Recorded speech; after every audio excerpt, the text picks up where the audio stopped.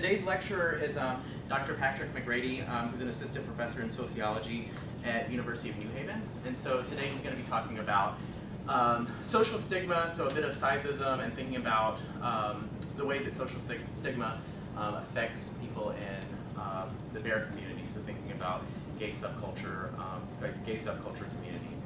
And so we'll go ahead and jump in, and I think the rest of our folks will be sort of joining us in a minute. Um, so thank you so much, and we'll go ahead and start the lecture. Uh, thanks, uh, thanks again to uh, Timothy and Bill and the Rainbow Center for having me out to discuss a little bit about some of my research, and thank you all for coming here, spending your lunch hour uh, to hear, uh, hearing about this subculture.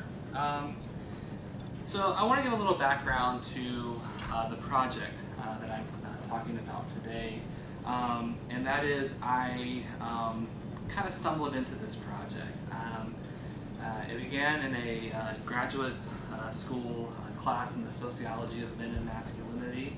I had just finished my comprehensive exams. I was all geared up to write, um, do research in, in, in, the sociology of education. And I thought it would be fun for this masculinities course to, you know, as a, a sort of a way to blow off steam is to write a paper about the bear subculture, which is a subculture that I had, uh, had known a great deal about and had identified with uh, for quite some time.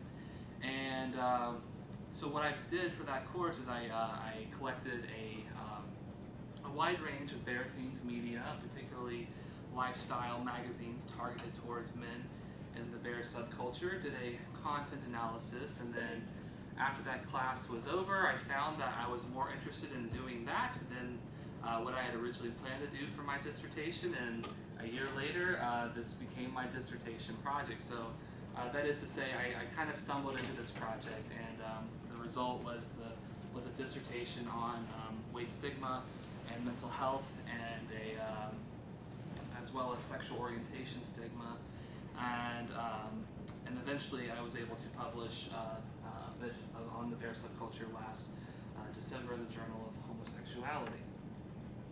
So to give an overview of where uh, where I'm going today. Um, uh, essentially, I believe they sent out the paper to students in the class. I'm not sure, maybe.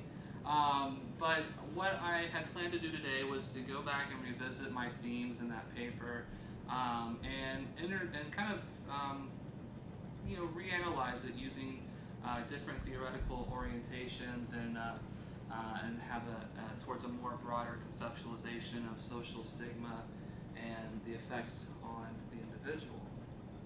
So in particular, my guiding question uh, today is how do bears form, reaffirm, and transform the identity of being a bear, which is a very, very uh, large question. And don't worry, in a little bit I will explain a little bit more what I mean by uh, a gay bear. It's not a animal in the woods, it is a, uh, um, uh, a big, pretty big subculture in the LGBT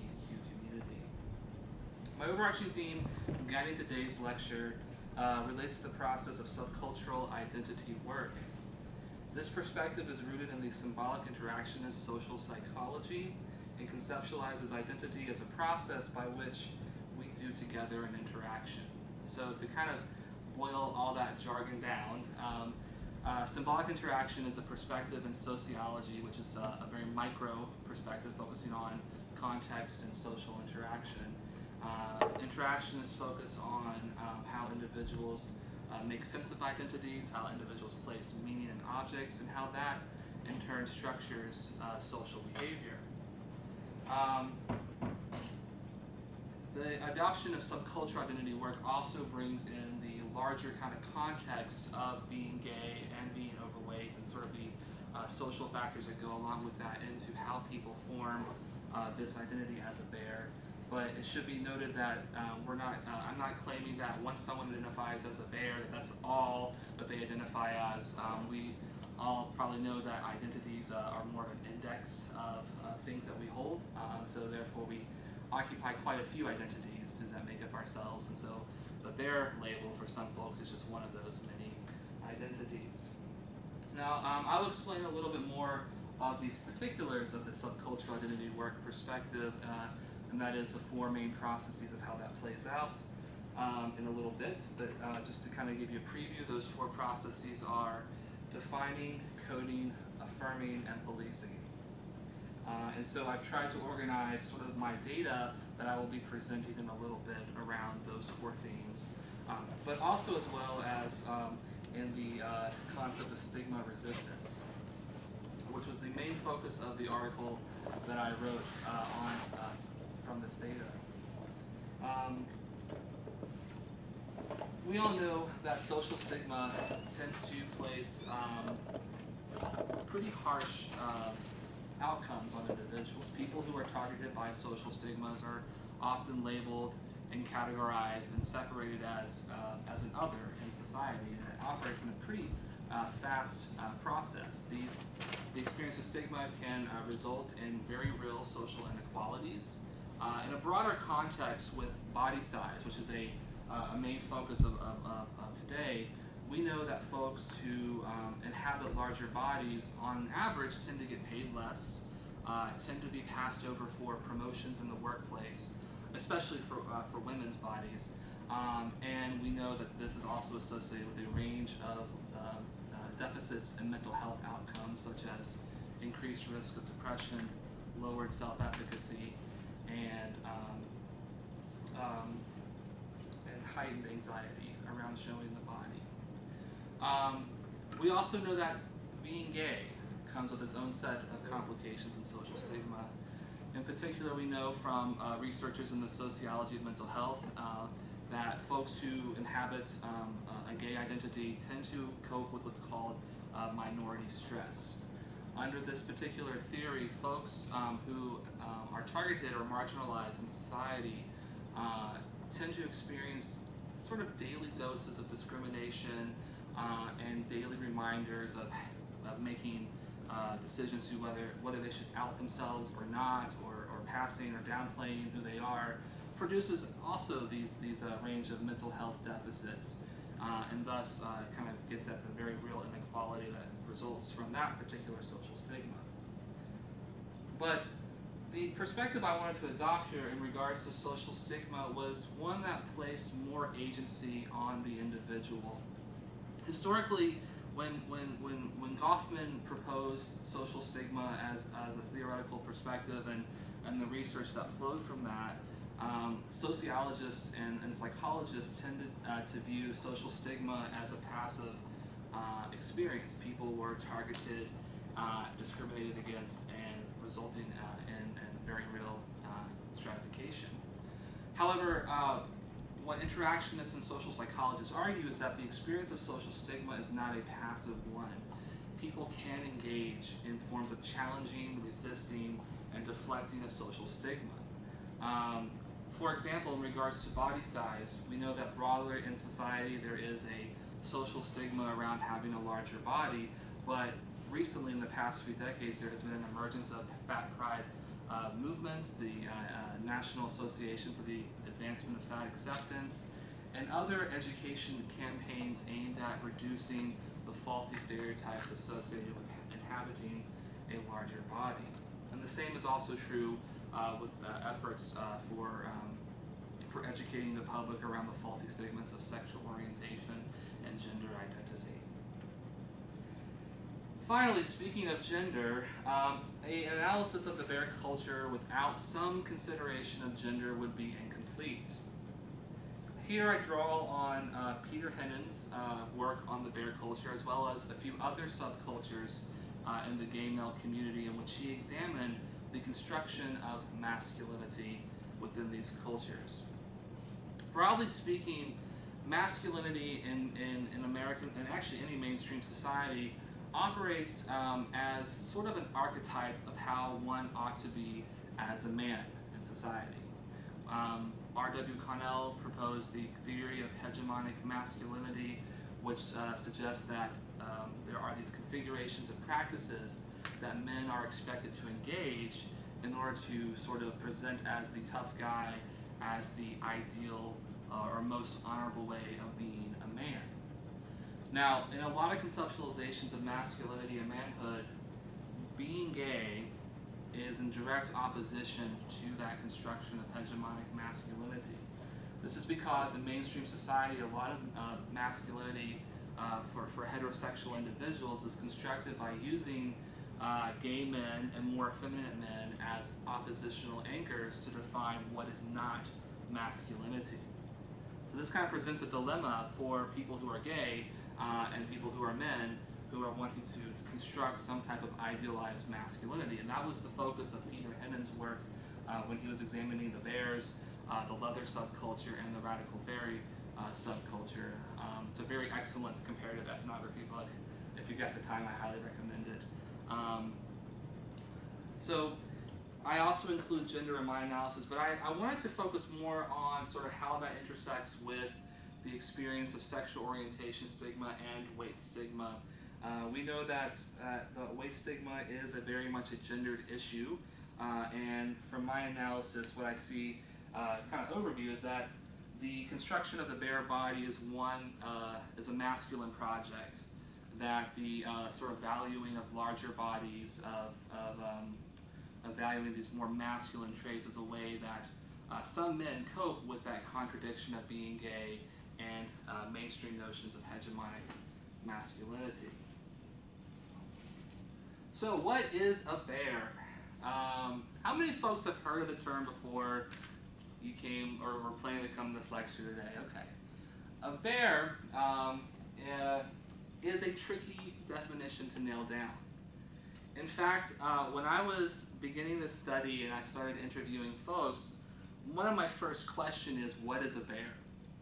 And um, most of the responses I would get to that question were blank stares or very kind of short, non-descriptive uh, questions. And that's because um, a lot of folks define the bear as sort of a configuration of attributes and practices, but there's no you know, solid textbook definition of what we would call a bear. And this, of course, has uh, become even more complicated as the subculture has grown and become more of a global phenomenon, uh, as well as the uh, sort of this uh, creation of all the subtypes of, of a bear.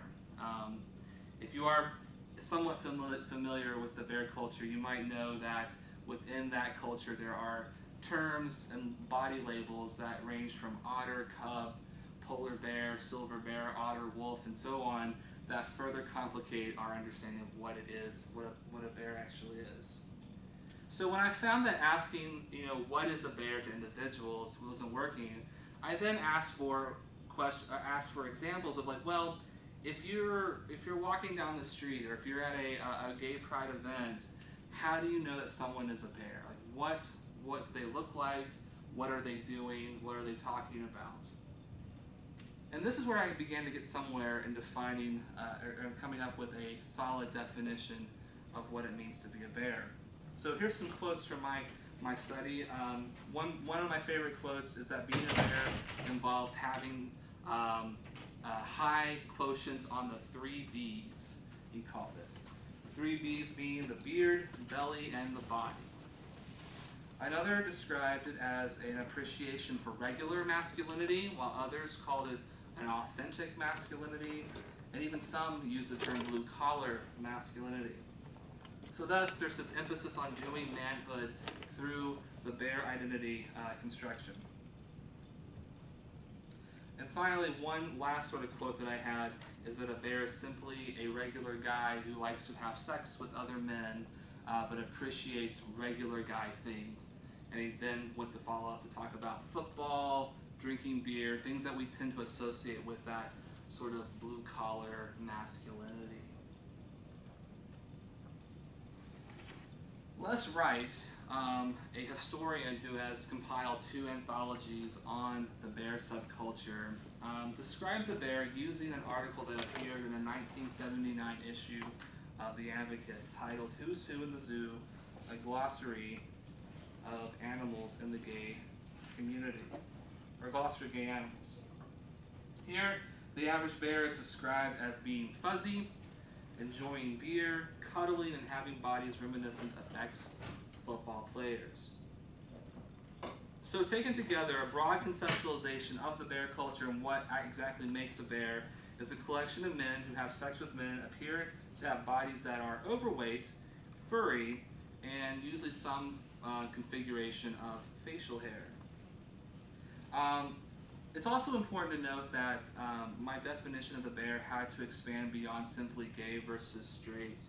Um, something that I quickly found in my own study is that uh, uh several of my men uh, who I, who I, who I uh, interviewed actually had identities that did not fall strictly as gay. In fact, I had some folks who were still married to women who, who, um, who had negotiated agreements with their wives about, about uh, their participation in the bear subculture, and even folks who were, who were married to other men were still, uh, still discussed their identities as being bisexual or not falling into that simple binary as straight versus gay. So it is important to consider that um, when we talk about bears, it includes a full range of uh, sexual orientations. So before I get into uh, the history, and also you know, I have some sort of uh, pictures that, um, that I, I, pulled from, from the content analysis as well as from other images. Up here um, is the Bear uh, Pride flag. Um, and the history of that flag is that it originated in a uh, class project where I think it was a multicultural uh, psych uh, course where uh, individuals were uh, given an assignment to create resources for, for communities that had been marginalized. And as the story goes, the colors of the bear flag represent all possible combinations of fur that you might see on a gay bear. So body hair essentially is, is what's captured there in that uh, particular flag. Of course, there are other ways that people signify their their their identity. Some a lot of folks that I interviewed had bear themed tattoos, uh, lots of shirts, and and uh, other other things that they use to express uh, their their their association with the subculture. The con the subculture has roots in the 70s and, and, and 80s. Um, in particular, um, uh, this was a pretty uh, tumultuous time for the LGBTQ community.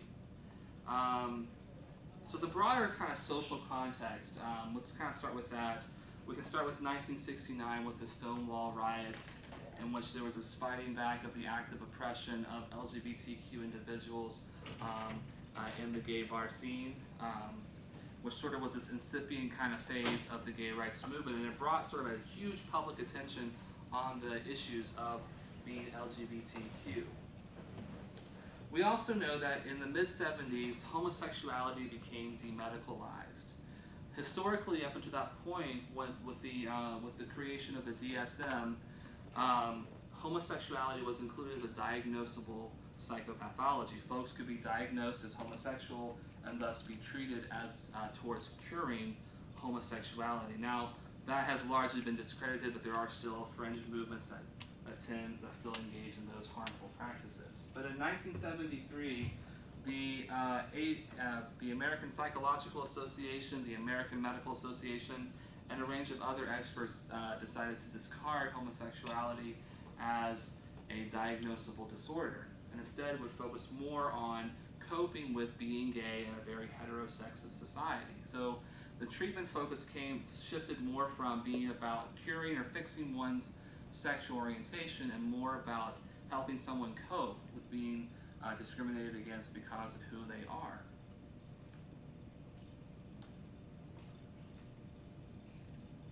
And then finally, towards the end of the 70s and the early 80s, uh, was the, uh, the growing and very devastating HIV/AIDS uh, pandemic uh, and the lack of uh, public attention from, from politicians and other sources of addressing that, where we lost over 5,000 people uh, uh, to that illness.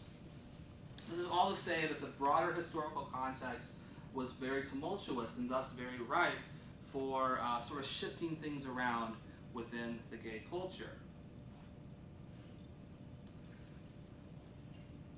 The term bear has origins in the San Francisco Bay Area. Um, in the late 70s, uh, individuals who uh, were sort of at the start of this, of, uh, of this identity um, would insert teddy bears in their shirt pockets to signify their interest in cuddling and larger men. Uh, this was meant as a replacement for the already kind of common hanky code, which men would use various colors of hankies to signify interest in different sexual practices. Uh, but it was ma- remained a pretty obscure and smaller uh, term and limited to that geographic region.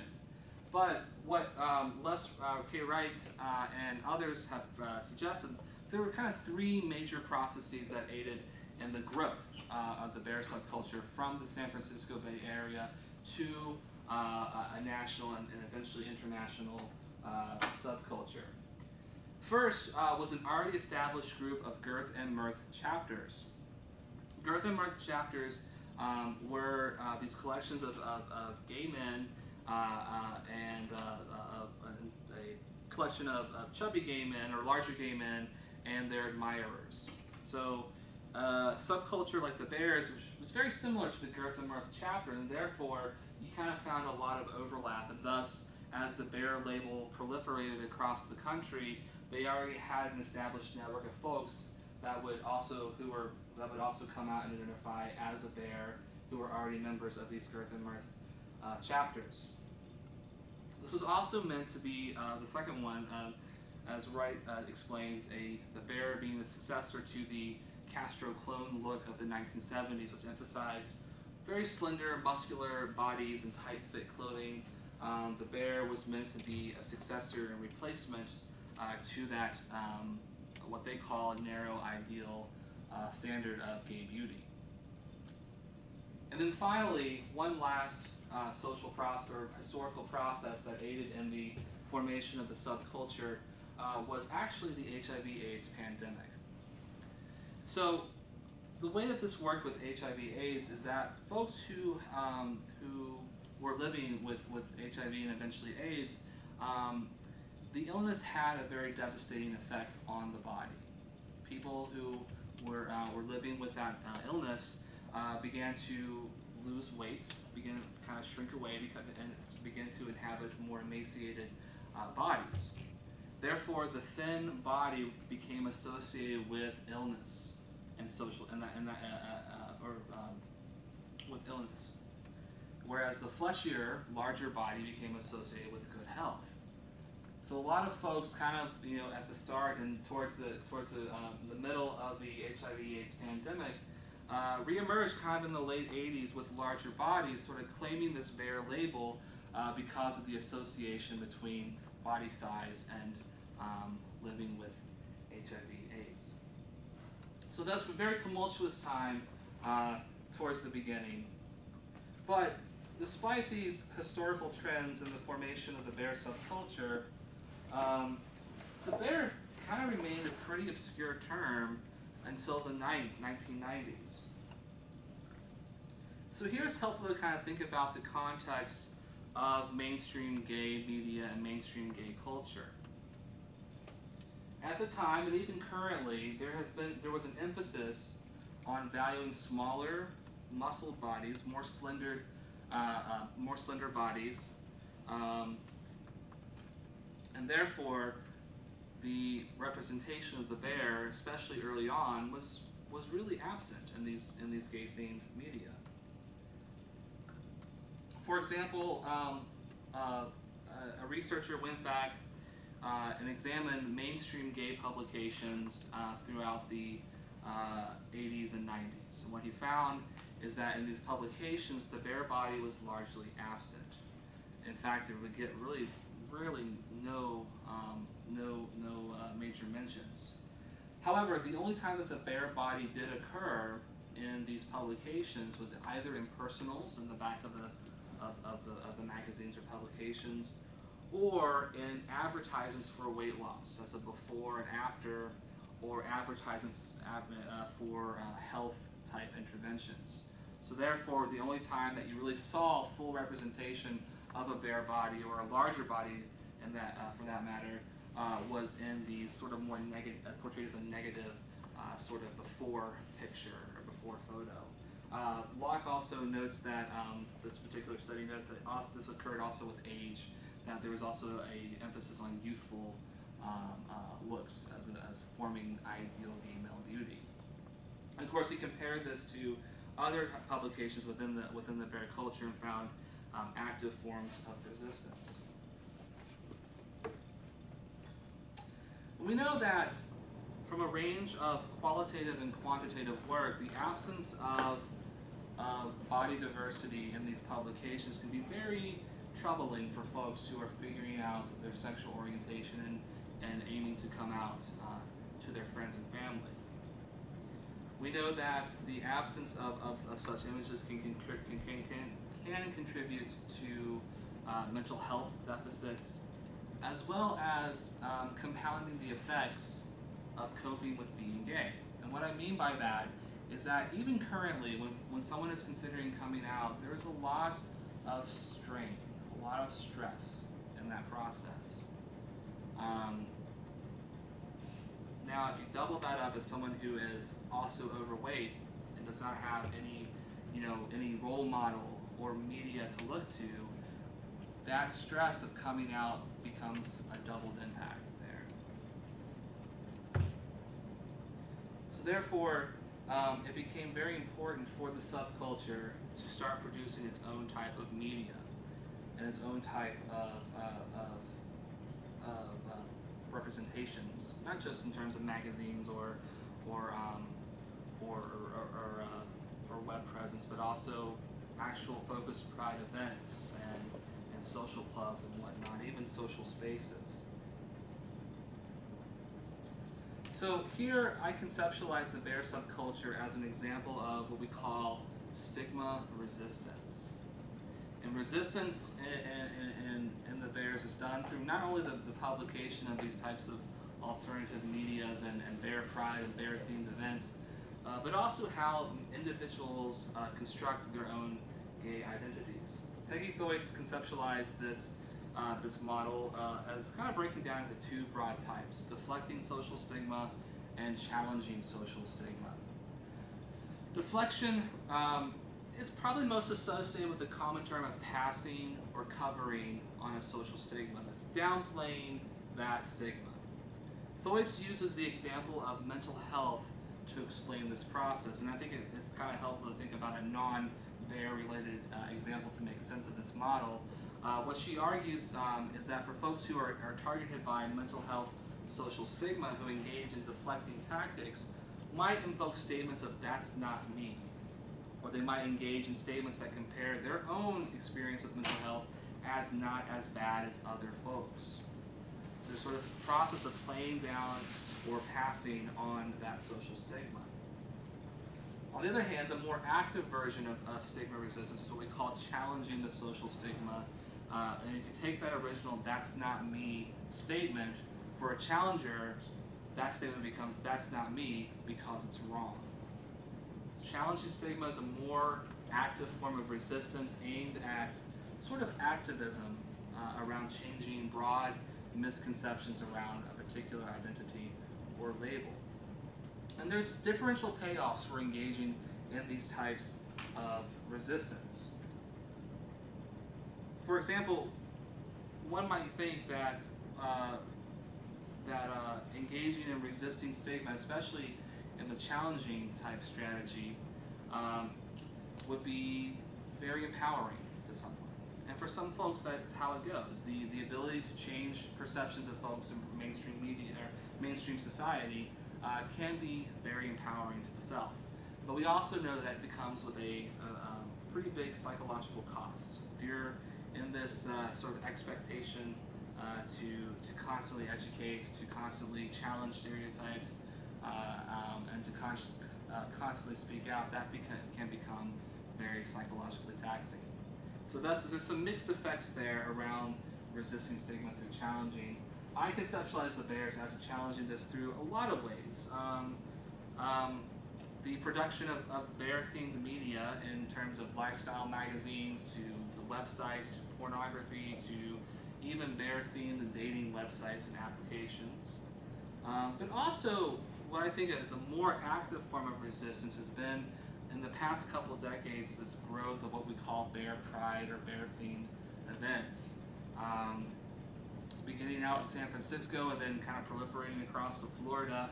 Um, these events uh, are, are weekends where men who identify with the subculture come together, they, they party, they drink, they, they have a good time, And usually these events have a pageant contest where people compete for titles like Mr. Bear or Mr. Cub and so on. And so there's this form of like active resistance of re, kind of reformulating the, the, the fat body as negative and stigmatized to a form of capital and something that is highly valued. So this this transformation or subversion of these mainstream ideals of the fat body uh, there.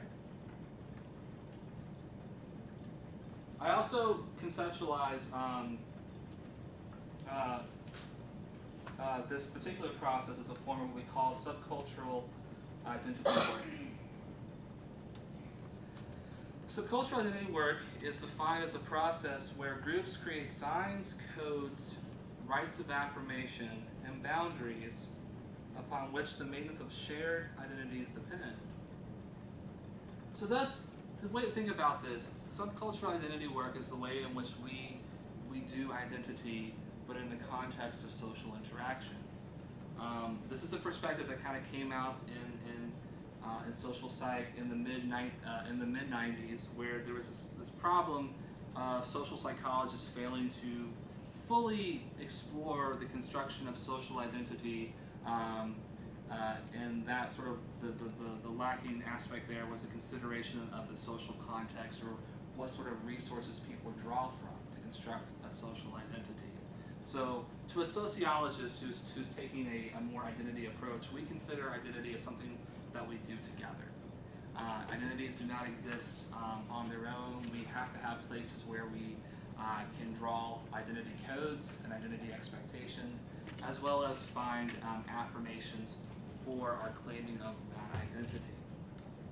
And this also kind of uh, takes identity to a less stable uh, type concept. And what I mean by that is identities and identity codes are rarely a static thing across the life course. You can think about your own self as you work your way through college and, and through your jobs. Who you are when you started is not who you are right now. Different things happen and change how you perceive yourself and how you construct your own identity.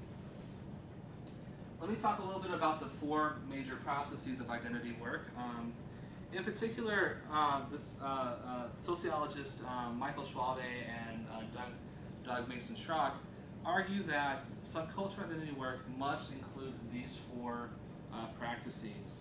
Uh, practices, although um, not necessarily in this order, although it tends to kind of play out in this order, but um, for subcultural identity work to, to occur, you must have these four things. Defining refers to the creation of a social representation uh, that brings the identity into existence.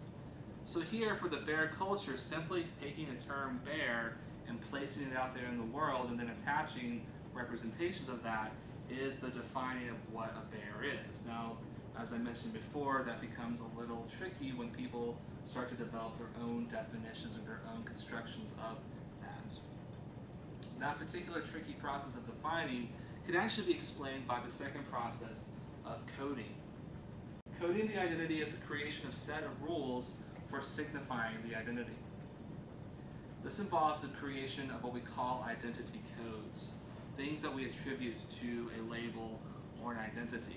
Now, what makes it so tricky for clearly defining what a bear actually is, is capturing how people are able to bend identity codes towards their own capital. For example, I had one participant in my study, the one who talked about the three B's that make up a bear, describe sort of his own process of how he might have been lacking in one of those areas, but he was able to emphasize other parts of his self uh, and those, those, and those that list of three B's there uh, for claiming that bear identity.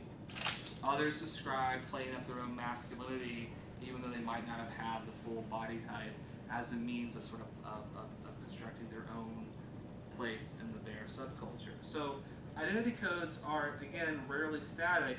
They're things that tell us what we expect from that identity, and we have the option to kind of bend those codes to fit what sort of capital we may or may not possess in activation of that identity. The fourth one is affirming which is really the, the major focus of the data that I'm going to have here today. Um, and um, affirming is a process where you have opportunities uh, for enacting and validating claims to the identity, affirming. What we mean by this is a process that sociologists call the looking glass self. And this was proposed by a sort of classical theory, or kind of uh, uh, in the mid 20th century by Charles Horton Cooley, who argued that we derive a sense of who we are based on how we think society perceives us. The way to think about this is that society is much like a mirror that we look into and we get a glimpse of who we are in that mirror. The way that this works in terms of identity formation is we get cues from folks that either validate or invalidate who we are uh, when we make these claims to an identity.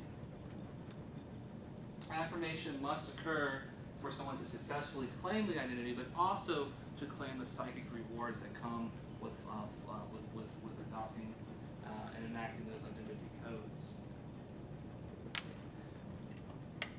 I think kind of broadly things like the bear themed pageants and bear pride events and bear themed media are all forms of affirmation, but it can also happen more on the micro level. Just a simple nod from the right person can be a form of affirmation.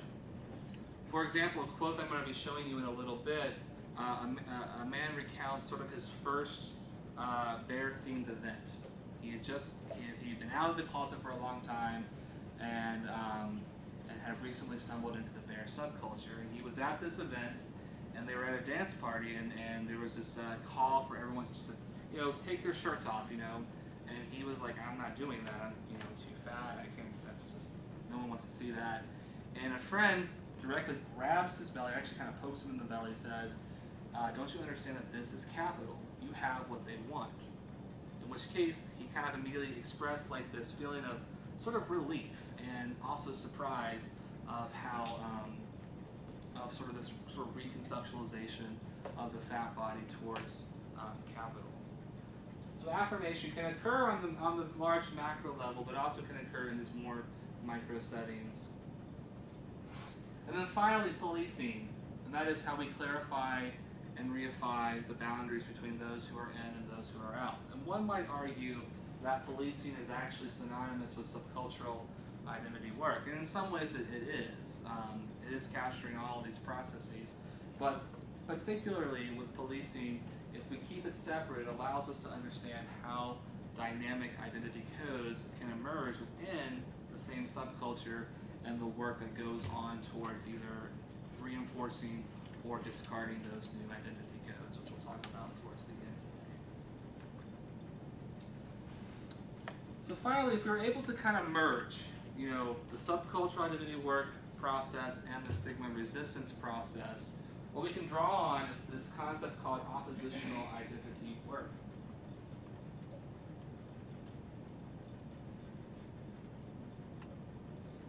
Oppositional identity work was, was, was, was proposed as a generic social process by, by, by Douglas um, Schrock and, and Michael Schwalbe as they were, as they were also um, conceptualizing subcultural identity work.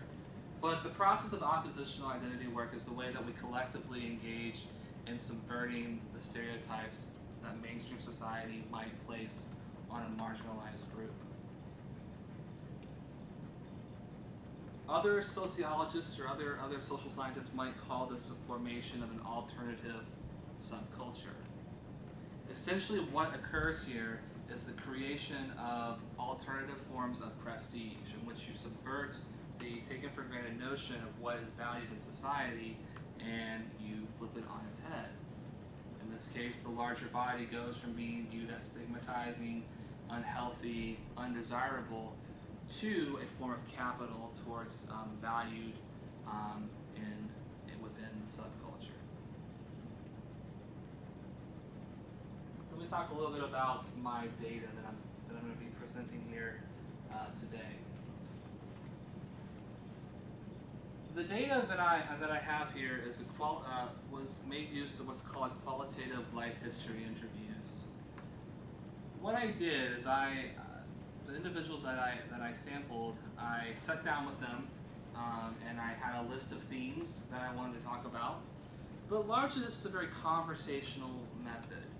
Um, this allowed for sort of jumping around the interview guide or the script and allowed me to probe further into greater details uh, of things that I found um, surprising or interesting um, within that interview. Essentially, I asked individuals to tell me about their life stories from coming out to discovering the bear subculture and their lives as bears. I began my sample collection in the U.S. South, particularly uh, Georgia, North Florida, Central Florida, and Kentucky. Um, after I collected, had collected 11 interviews there, um, I was urged by um, individuals on my um, uh, uh, within my department to perhaps go to uh, a more socially progressive area. at the time, and even currently, the Deep South, uh, where I was collecting these interviews, a lot of these indiv individuals were still managing, uh, sort of being out to their friends, but not out to their families, um, and were still very much, kind of in some cases, living in fear of the negative effects of being outed as gay among certain um, people in their social circles. So, as sort of a comparison, I um, was able to go to the San Francisco Bay Area, uh, which is where the, the, the bear subculture began, uh, and was able to collect 10 more life history interviews um, with these in, with uh, individuals identified with the subculture. My sample is not very diverse in terms of race, and this is a, a, a, a perhaps a question towards the end to consider is sort of the, the, the, lack of racial inclusion within the bear subculture, as well as the uh, what we might consider forms of toxic masculinity that exist in the bear subculture. Um, and the age range uh, was between 23 and 55. So what's and it's kind of important to kind of think about that age range because that means I had folks who were coming out before there was Google and before there was uh, the internet. And then I had folks who were coming out uh, and having much shorter time between coming out as gay and coming out as a bear. So these were sort of my sensitizing concepts that emerged, and the themes that I consider uh, for this uh, particular talk are five themes in regards to subcultural identity work and um, oppositional identity work and resistance to stigma the way I kind of framed my analysis was almost a life course type perspective. I asked folks to talk about how they felt when they were coming out as gay, um, how they felt before they, they discovered the bear subculture, what it was like to discover the bear subculture, and then how they lived their lives as bears. What I found is that as people move through this process of, of, of coming out and feeling social stigma because of their weight, towards, um, towards adopting the bear identity, there was a radical transformation of how they view their own selves. That is, feelings of, of shame and stigma in regards to weight and even sexual orientation were alleviated by the discovery of this identity code. Once discovered, uh, folks began to engage in bodywork uh, ta tactics to emulate and embrace their own identities as bear. Now, the end, the last one, the complications, um, I want to discuss sort of as, as, as, a, as a presentation of not only how this process can, can, uh, cannot, uh, can be halted, but also to illustrate the dynamic nature of these subcultures. Let's talk about the first theme here, and that is the, the feeling of weight stigma. Men often referenced feeling cut off from gay culture because of their own bigger bodies. One participant in my study claimed that before I knew about the community, I thought people didn't like me because I'm big and fat. Other folks referenced similar themes of shame and stigma associated with their own bodies before and after coming out of the closet. And this kind of played out in a wide range of spaces. For example, one of the most kind of common uh, uh, references was amongst peer groups. People coming out um, uh, were who, who were inhabiting larger bodies felt, you know, received cues from their friends that they should be working on their weight, that they should be working towards a more uh, slender um, ideal that was present within the mainstream gay culture. Others discuss feeling out of place at gay bars. For example, this person in the San Francisco Bay Area, 40-year-old Their arg suggests that when I was hanging out at the parking lot at TD's, which is a gay bar, I was always the fat one. We were always on a diet. One friend lost 110 pounds. I lost 75. I think the other lost 60. We banded together to look like everybody else. There was no bear community. I never even think I heard someone say, I like big guys. So what is evident here in this quote is two things. One, the cues from, uh, from mainstream gays culture at the time suggested that one should always be working on their weight and always working on their body size. And that can produce feelings of, uh, uh, of, of negative self-image. Um, second was a theme of feeling a need to conform.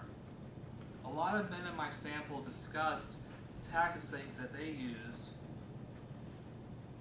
to conform to an ideal that didn't really make sense to them.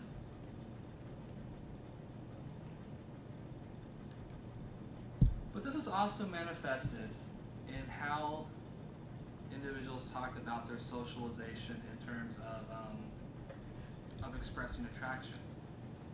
For example, uh, a 23, the, the youngest person in my, in my sample, a 23 year old, has this, had this to say about his coming out process. At first, I felt like I had to like the skinnier six pack guys because in the gay community, that's what everyone seemed to like. All my gay friends in high school, all two of them, were into skinnier, more effeminate men. And you know, in all honesty, I felt like I had to be into that because I didn't know that there were more masculine men who were gay.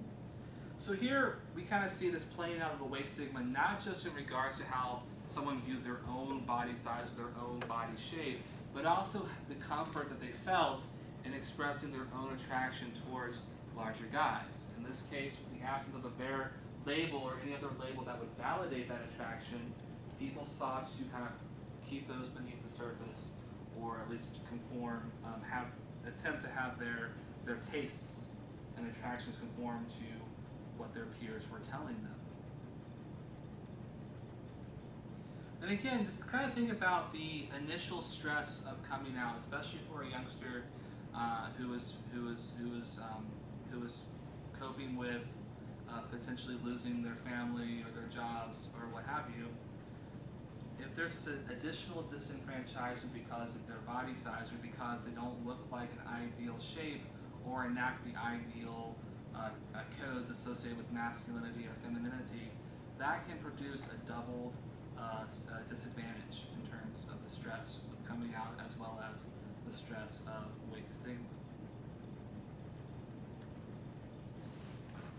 Now, one interpretation here is that individuals um, in my study, as well as broadly in the bear culture, um, were perhaps primed to seek out an alternative subculture like the bears as a means of coping with that social stigma. And while this is true for some folks in my study, most of the folks that I talked to describe their discovery of the bear culture as um, kind of stumbling into it. But they weren't necessarily seeking something out, or at least formally seeking something out.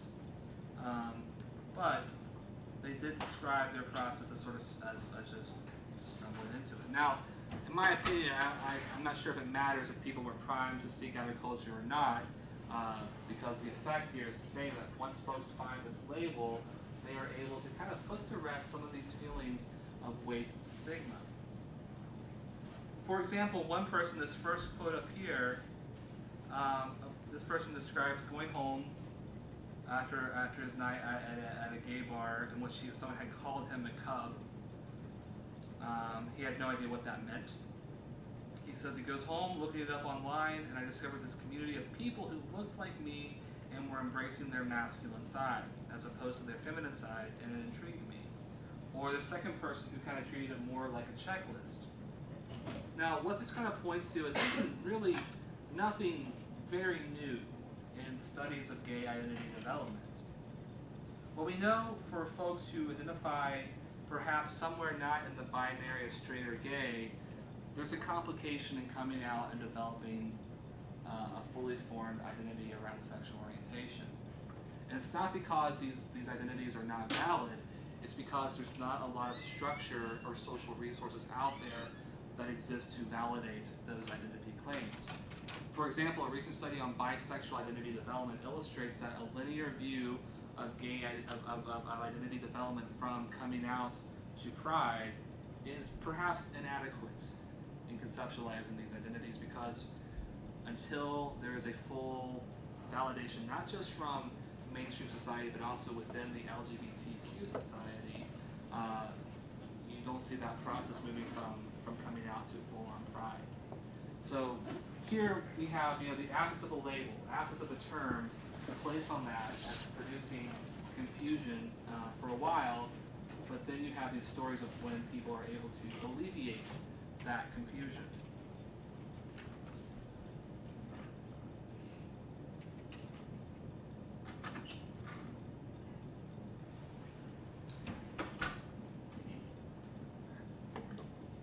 The next thing I wanted to talk about is the embracing of the bear body. And that is, what, what did people do with it once they had discovered the label?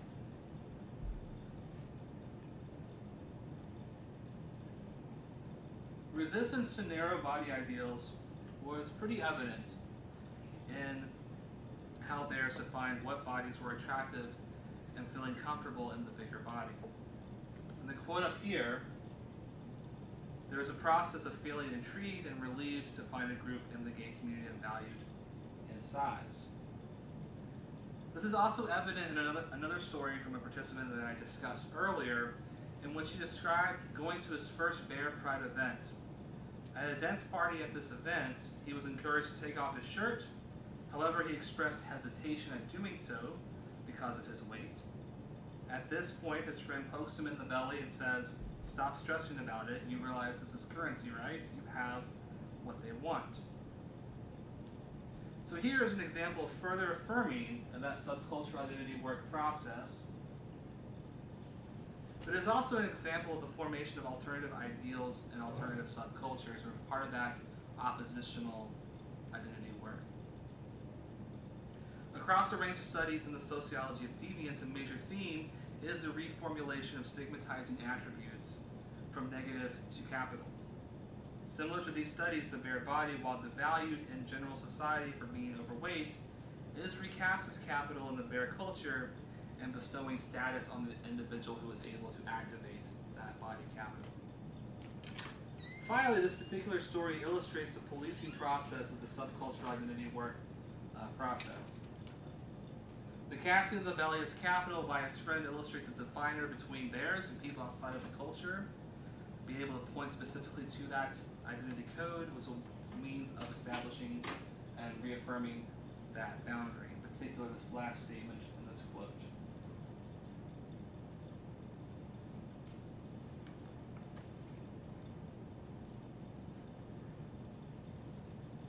So what about emulation?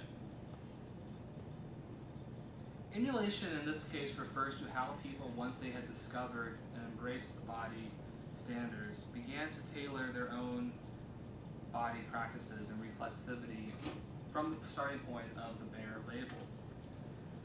We can look at a process called body work, which we which is, which is a case where we tailor the body to fit a certain identity code. That is how we embody a certain identity.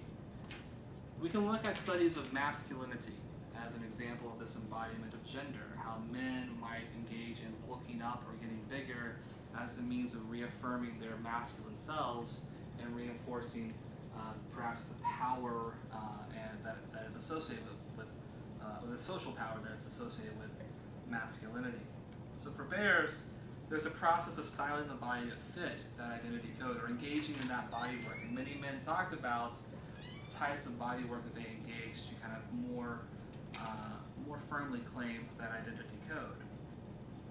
For example, one person described the learning experience in terms of bear identity codes on his first trip to a popular bear bar in San Francisco. He says, I found that the whole masculine image is just popular. It was just a thing for me, and it was also just a way to fit in. After my trip to the Lone Star, which is the bear bar, that first time around, I think within the next three months, I went and got my costume. My Timberland boots, my jeans, my flannel shirt, and flat top haircut. So part of engaging in this reflexive body work uh, in the field is being socialized into that field. Scholars of sexuality often note that individuals are not born with a set of dispositions towards specific subcultures. Rather, what we have going on is an initial intrigue and then eventual socialization into that subculture. That is to say, no one is born a bear, but they are born with certain attractions in which they are socialized into uh, exploring. So in this case, we have someone who is socialized into the field and is able to successfully cultivate the capital uh, by engaging in adopting the bear costume. He later called this the bear uniform. Um, Another one called it looking, trying to look like a lumberjack, which I think was my favorite descriptor of the bear costume. For some men, masculine costuming became a way they invested their body capital towards fitting within the bear subculture. The socialization aspect is important in this type of bodywork as it provides continued maintenance of the subcultural identity via policing processes and affirmations. For example, one person discussed how he had guided newer individuals into the subculture. He says, I meet a lot of big guys that are young or are trying to fit in, and that's one of my pieces of advice to them. Go buy the costume. Right now, it's a hipster look, but it's the same sort of things that it was back then. It worked wearing the costume, you get what you want. Grow the beard, get a buzz cut. This type of front work, coupled with the knowledge of the bear identity codes, tends to impact not only how individuals evaluate their own selves, but also becomes integrated in how individuals approach the subculture in future interactions. That is, they learn the rules of the game, how to best play the game, and built on that socialization until emulating the codes no longer felt like they were acting. For example, in the follow-up to the first quote up here, this interviewee discussed the great success he had with popularity once he had um, engaged in that masculine body work and once it kind of started to feel more natural to him. And finally, the last thing to consider in this data are the complications to the themes. So up until this point, the bear subculture is, is uh, been described as how we engage in body work and, and, and this identity work to maintain and, and claim the code. However, these codes are rarely static, and this is also true for the bear subculture. One sort of theme that had kind of organically popped out of my interviews with these men was the emergence of a new category in the bear culture called the muscle bear. The muscle bear that was described as someone who has the hirsute body, but is not having a large belly or being perceived as fat, but perceived as a bodybuilder type, very muscular. We have here in a quote sort of describing this process, I have the opinion now that what was a bear is now a chub. What was a twink, which is a thin, was described as a thin, hairless gay man, now just stopped. And now they're all done. Now, now that all they've done is gotten older, gotten hairier, and continued to work out. Now they're the muscle bears. They weren't bears 10 years ago. They were probably forced into the community due to aging. When you're 25, you can manage this little bit of hair at the top of your chest, but when you're 45 and it's migrated to your back, it's probably become a losing battle to manage it down. I think they shifted. It used, it used to be bears and cubs, and that's it. The muscle bears have taken over the position of very hyper masculine bears. So, in particular, what we have here is a shift within the identity codes of how we define the bear for some folks. And this kind of, um, what's noted here is that, uh, one, and this is a rarely static process of, of, of collective identity work, um, but also uh, sort of how the ID codes can morph the definition of how people claim that identity. For example, me, uh, for example, this kind of gets at the very complicated nature of weight stigma and weight management within the gay culture. Some individuals in my study describe the experience of vacillating between feeling weight stigma and feeling acceptance within a single trip to a bear bar or a bear themed event. So that is, this emergence of a new category within the subculture can revive those old feelings of weight stigma, as well as reinforce a very kind of toxic masculine ideal towards achieving this newer status. Um, here. So thus, when folks are lacking this body capital to, to sort of emulate the newer, more I what's considered an, an ideal status within an alternative subculture, it kind of uh, uh, kind of removes those, those perhaps protective on weight stigma. Or as someone kind of put it uh, when describing the muscle bears, a person who talked about being in the parking lot of a gay bar trying to lose weight, he says, it's like I'm back in that parking lot at a gay bar 20 years ago, trying to fit in and trying to be something that I'll never be. So in conclusion, this analysis conceptualizes the bear subculture as an example of two things, subcultural identity work and stigma resistance. In regards to the former, the quotes illustrate all, all, all elements of subcultural identity work, which were defining, coding, affirming, and policing. Just to kind of recap here, the subcultural identity work process is where groups create signs, codes, and rites of affirmation and boundaries upon which the maintenance of shared identities depend. And the defining process, the creation of the bear label, uh, fulfills that requirement. For coding, how individuals navigate the new codes, once they found the label, how they claim the label, and how they were able to bend the label to fit their own forms of body and masculine capital was a, was a evidence of that coding process. The creation of bear-themed media, the creation of validation opportunities such as bear-themed events, and parties, and bars, and social spaces, and even just being labeled as a bear in casual interaction all serve as affirming processes in the subcultural identity work process that people were able to draw upon to further validate their own selves as a bear. And then finally, the policing and the creation of boundaries. This is uh, in regards to the sort of ever-changing nature of the bear subculture as new codes emerge. Policing tactics again uh, will will also emerge towards either discarding or affirming these newer identity codes. What we could further develop here is Schwalbe and Mason-Schrock's concept of oppositional identity work, where people are able to sub, uh, subvert uh, mainstream notions or mainstream stigmas. In some ways, the oppositional identity work of the bear culture is aimed at subverting norms of ideal beauty and bodies, as well as gay masculinity. However, this creation of masculinity can become pretty toxic. This is evident in Peter Hennen's study of the gay bear subculture, in which he looked at how masculinity was used um, to reinforce uh, a stratification system by gender. In particular, in Hennen's study, he found that men often used um, uh, effeminate men um, as well as women as oppositional anchors in defining what they were not, as a form of constructing their masculinity. So in this case, this is kind of gets at sort of how, even though oppositional identity work can be aimed at reducing the effects of social stigma and reducing the effects of negative stereotypes placed on marginalized populations, there are these consequences of reproducing existing uh, social inequalities. In this case, it's in regards to gender and gender dynamics.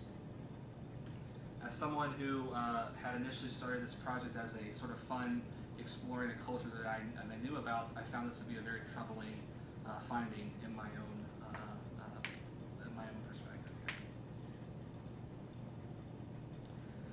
But if we conceptualize these narratives as oppositional identity work, it gives us further insight into the general stigma and resistant, resistance process. That is, are Bear's narratives here oppositional and are they aimed at resisting stigma? And if so, is it challenging or deflecting the social stigma? The results of my analysis suggest a more complex notion of either yes or no towards oppositional identity work or either just challenging or just deflecting the stigma. For the former, it appears to be more contextual. For example, you might have noticed that my sample is somewhat divided between the US South and the San Francisco uh, Bay Area. Individuals in the Bay Area, when they were talking about their view of the Bears, kind of had a more blase type perspective on it. It was a, as one person put it, I could take it or leave it at this point in my life. Whereas in the South, especially the rural South, the Bear identity was treated more sacredly. So why did this occur? Why did this occur? What I believe is at play here is general social progressiveness of the geographic location. In some parts of the rural South, some individuals viewed the bear label as a more subversive and secret way of claiming a connection to the gay culture. And the way that some one person put this is that, you know, I could put a bear flag sticker on my car and drive around his small town in, in South Georgia, and no one would ever know what that is about, what, what that flag means. But if he was to go out in that same town and put a rainbow flag sticker on his car, people would know, and he expressed fear of being targeted because of that. And therefore, he viewed the bear and, and, and others viewed the bear label as a way of sort of connecting to gay culture without having to fully out themselves uh, to their friends, coworkers, and family. Whereas in the San Francisco Bay Area, a very socially progressive place, that need for that additional kind of uh, covering uh, was largely absent in the, in the men that I interviewed there. So thus, oppositional identity work does seem to be a play for both segments of my sample, but just in very different ways. And again, one, one, and finally, one last concern here is the general psychological resources of so, uh, um, and the resistance of social stigma. Members of any marginalized group are likely familiar with the process of constantly having to give an account of who they are to others in society, as well as the stress of passing or downplaying or affirming that marginalized identity. So, thus, the resistance to social stigma and the experience of social stigma can be psychologically depleting on the individual. However, what we know from other studies of stigma resistance, these can actually be empowering. That people being able to challenge actively social stigma and educate others can become a source of, of, of achieving a positive self regard and it's a sort of general sense of doing something about the problem. In my particular sample, I view the mix between people who felt empowered by claiming the bear label and doing this body work, whereas others who kind of felt more psychologically depleted for having to constantly kind of hide, cover, or come out to friends, coworkers, and family. One last bit here are other sort of themes that um, I believe should be further explored within this particular subculture. Um, for one, uh, these are also themes that um, that I had included in my uh, interview guide, and uh, just to not get to fully develop uh, in, in terms of the responses. And perhaps the most troubling here is a process called racial formation within the subculture. What racial formation refers to are the social and historical processes by which we um, create, discard, and maintain racial categories. If you've looked at any major bear themed media or events and, and you look at the pictures, it's largely composed, comprised of white bodies. While there's no formal, you know, segregation rule within these events, um, there does appear to be a sort of uh, informal um, othering of race and, and, and people of color. Now, what was troubling to me is I asked about this to some folks in my sample, and responses I got were more colorblind type notions of race and racism, and that is, I don't see race, I don't pay attention to that type of thing, um, and therefore, um, and even when I tried to press further on, in some cases, I was just completely shut down on that. So, um, but I will say uh, the, the men of color in my sample definitely had a lot of things to say about sort of the formation of race and racial politics within the bear subculture. And um, if I was to uh, make suggestions to to the subculture itself, is to work on how they include uh, uh, race in their representation. uh, second theme here, again, was in regards to gender, and in particular what sociolo- sociologists call manhood acts. When I was conducting this study, I was walking around a gay pride event in Tallahassee, Florida, which is where I was in school at, at the time, and at this particular pride event, um, a person that I had interviewed had set up a booth uh, to, to, to collect signatures and memberships, a membership to, to build a bear social club for that area of Florida. Uh, my friend at the time, uh, my, one of my closest friends, uh, she was walking around with me. She's, she's, she describes herself as a, as a bear in a straight woman's body. Um, actually walked up to that table, asked to sign up to be able to, she wanted to help. To which he did not allow her to sign up because he viewed the bear subculture as being only for men. So what emerges here are problematic notions around gender and gender relations, not just in terms of men versus women, but also problematic descriptions of people who do not identify within the gender binary. There tends to be a reproduction of toxic masculinity as well as a reproduction of general gender inequality in this particular subcultural identity work here. And then finally, a focus on aging. In 2010, two sociologists published a study of older gay men, masculinity, and the body work that they engage uh, to give an account for both their masculinity. This became somewhat of a, a mixed bag in my, in my data. I asked about sort of age status within the community and whether or not it was a, a major definer of folks. How do people approach age and age differences?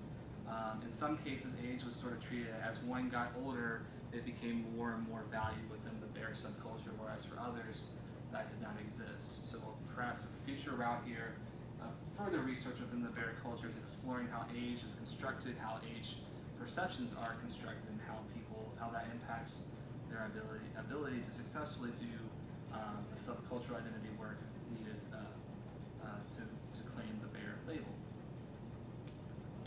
So I appreciate your attention and, and, and, uh, and, and listening uh, here. Uh, I welcome your feedback, comments, or questions. Uh, so that's, that's all I got.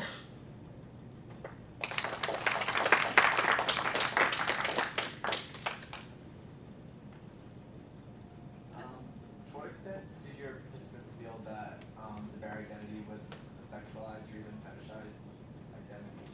And did they embrace or resist that? Yeah, that's a good question. So this, um, I have two answers there. Um, in regards to um, uh, to to the, the, the, sort of sexualizing the bare body, um, there were sort of two perspectives, and that kind of varied on how actively people claim the bear label. So, for example, uh, people who actively claimed the bear label, uh, you know, they, they would proudly proclaim that they were bears, had no problem with that sexualization of the body. In fact, it was highly encouraged. But um, there were some folks in my sample who said that they didn't really feel like a bear, but they had the physical makeup for it, and therefore was sort of a, a go with the flow situation. So they had a more a complicated view of that sexualization there. Does that answer your question? Yeah, thanks.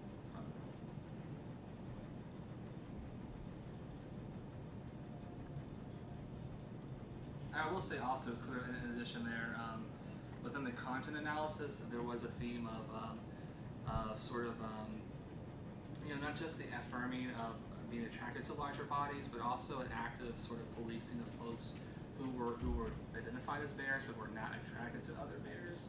That also sort of emerged as a more complicated uh, process there. So,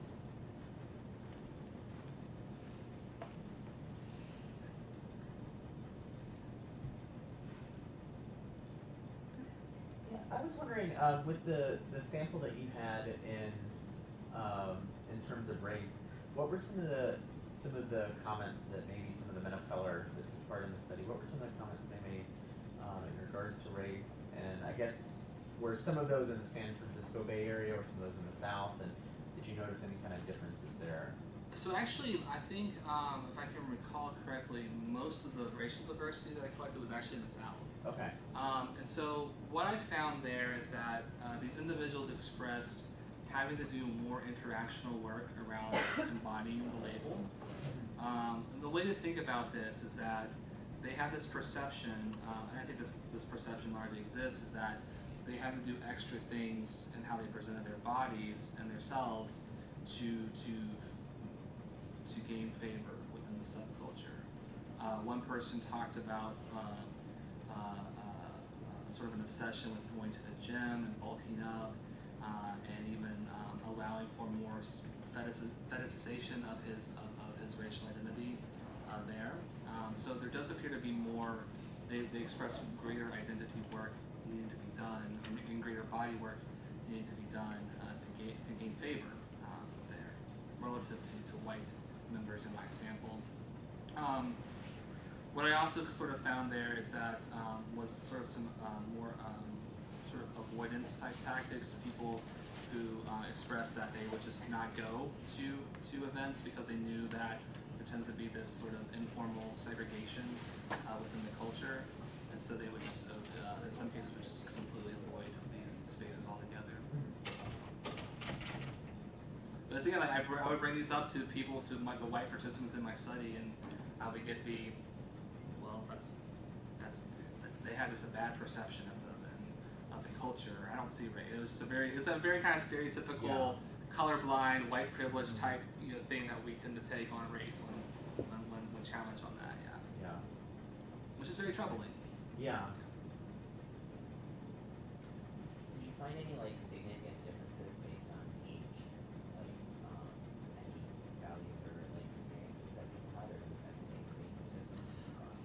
I think I will say with age, I think um, I think there's sort of um, there was sort of an interaction of, of, of, of geography and age. I'll say that older folks from the South had a greater emphasis on the masculinity side of the bear culture, and actually even outright claiming that bear spaces should be male-only spaces. Um, whereas younger folks in my sample uh, for one, had less less time between coming out as gay and coming out as a bear.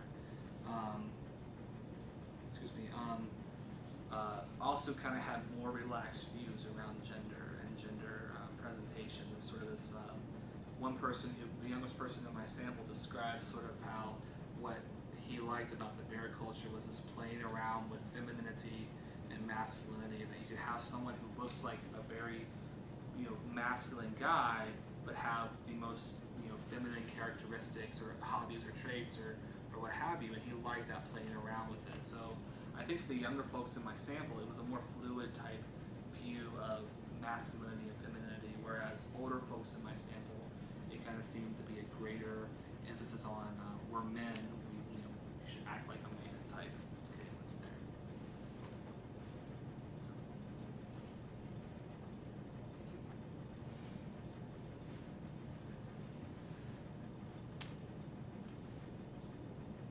Other questions, comments, concerns?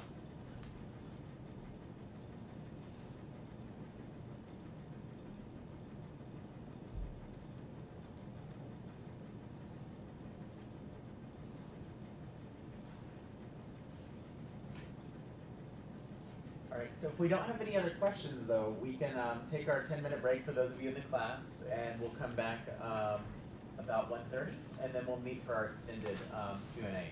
But let's give um, Dr. McGrady one more round of applause. Thank you all so much. And just to let you know for our